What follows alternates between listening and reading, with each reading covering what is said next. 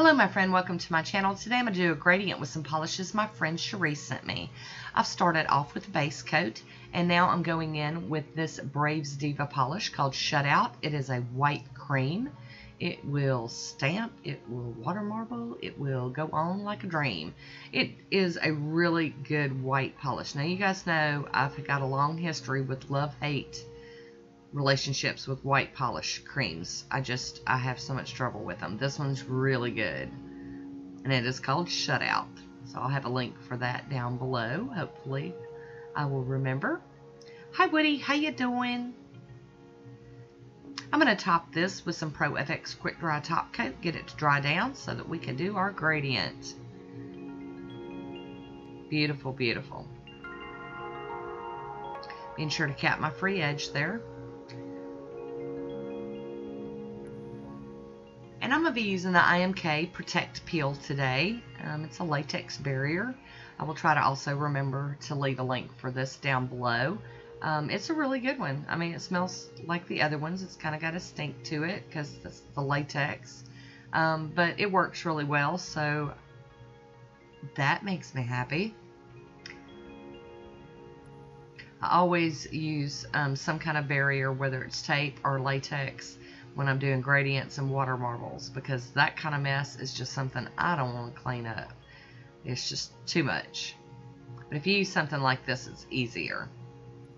I'll be using the Kiss Gel Strong Polishes in two shades.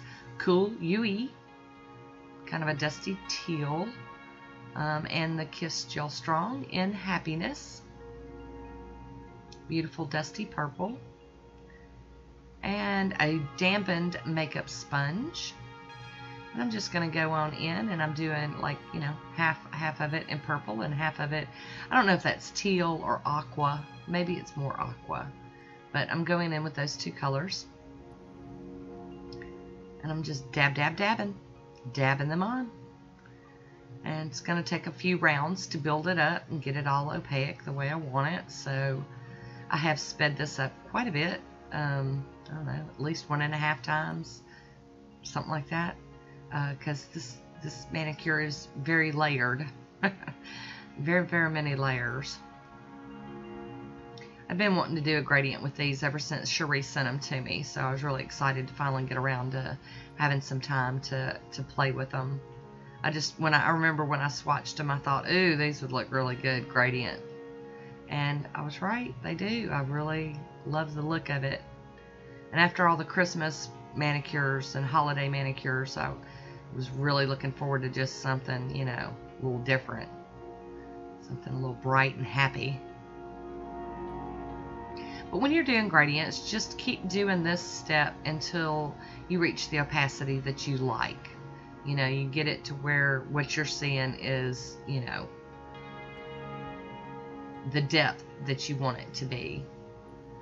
Uh, sometimes you could do one or two rounds and be good to go, and then other times you need four or five, maybe six, just depending on the opacity of your polishes. These are pretty opaque, so I'm, you know, I'm pretty, pretty happy with that. I don't think it's going to take too many off, too many rounds. You can see they're starting to build up now. Tap, tap, tap.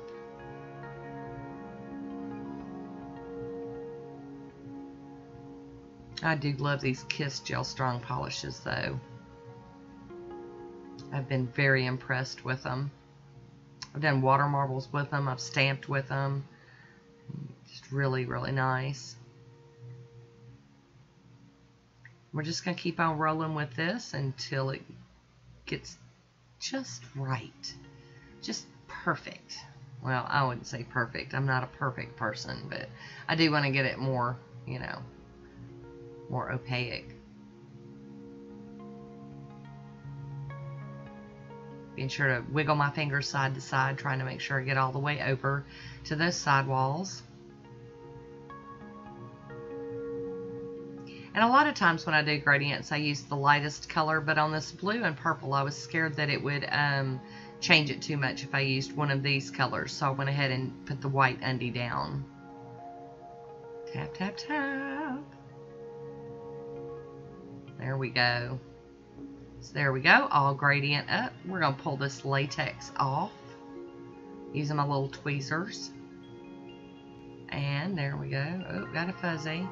And now we're going to do a little bit of cleanup with some acetone and a cleanup brush. You can use regular nail polish. You don't have to use acetone. I'm just quite impatient, so um, the pure acetone seems to work faster.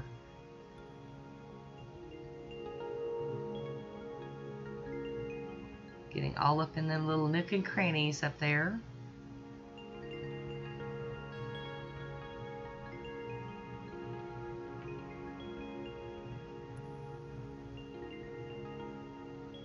Lots of nooks and crannies. there we go. So now I'm going to top this one with some Pro FX Quick Dry Top Coat again. And I want you to notice how smooth the top coat makes it look. It goes from kind of being grainy and gritty to just smooth and just seamless. I always love when the magic happens on a manicure like this. When you see that, it's just so pretty. Because you're looking at it thinking, ooh, this is looking kind of gross. And then you do that top coat, gorgeous. Hi, Woody. How you doing?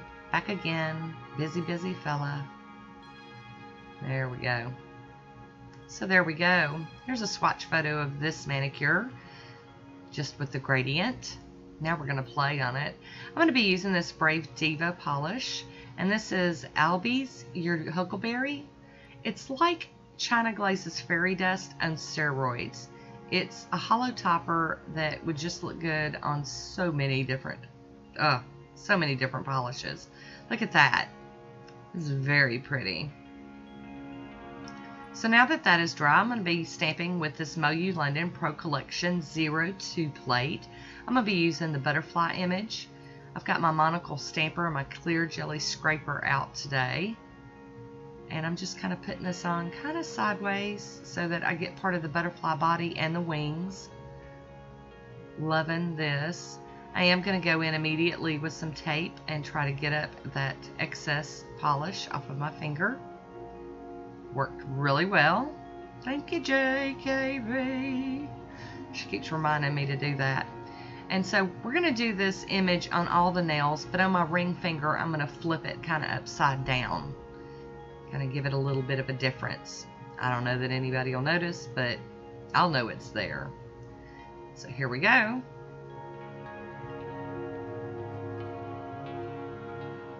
Flipping it upside down and doing the same thing, trying to get the butterfly body and part of the wings on there. So there we go. Loving it. And now for the pinky nail. I'm really, really happy with this manicure. Many, many layers, but all well worth it. So there we go. I'm going to top this one with some Posh Top Coat and get it to dry down and seal up and be done. So I'm going to have a swatch photo coming up here pretty soon. I would love to hear what you think about this manicure. Please leave me a comment down below. And here's that swatch photo. I hope you enjoyed this one. I want to thank you for watching. And until next time, be good to yourself. I'll talk to you soon. Bye.